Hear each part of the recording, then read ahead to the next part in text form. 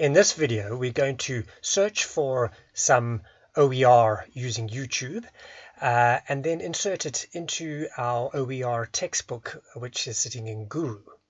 Uh, first of all, let's do a search in the regular YouTube uh, search field.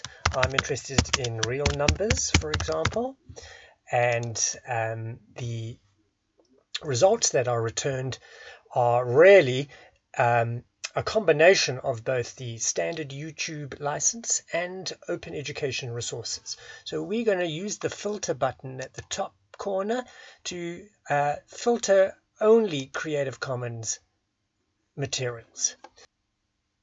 From these results, we can now choose which of these OERs are particularly useful. Um, I'm going to have a look at this one here. You might see that I've already seen it before and um, you can review the resource and decide to what extent it's useful. Um, once you've made your decision though, we need to take the URL. So the easiest way to do that um, is really just to right click the video and say copy the video URL. Okay, so we've returned to our course and now we want to insert the URL of the YouTube video as a resource. So I'm going to scroll down. Here's my consumer arithmetic section. There is lesson one, which is my specific objective number one, and there's the collection. Uh, so I go into the collection, and now we'll see that there is a add resource or question button. So I'm going to click on there. I'm going to add in a resource.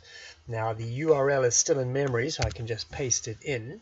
This particular video is on calculating discounts, and I can say that it is a video. There's an add button, click, and you'll see now that there is um, the first resource for the specific objective.